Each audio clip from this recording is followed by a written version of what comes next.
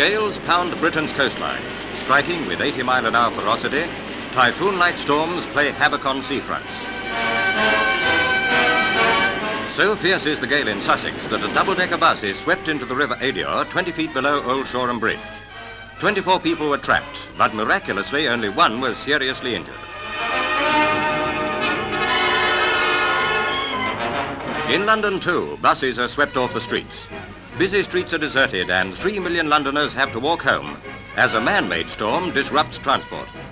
The cause of it all, a Saturday afternoon strike by the capital's 40,000 bus and tram workers.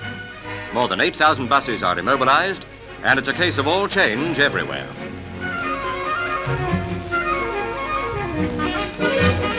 Tempers grew shorter and queues longer. Down at Southampton, January storms caused yet another hold-up. The giant Cunarder Queen Mary is loaded up with 100 tons of cement, which it is hoped will fill in all the damage below the waterline caused when Britain's great dollar earner ran aground outside Cherbourg. The delay will cost several thousand dollars in passengers' fares on top of a thousand pound repair bill. Divers working by underwater searchlights report bent plates and a straining of the keel. With Britain's weather temporarily taking a back seat, a near nationwide hold-up is over. Roll on spring.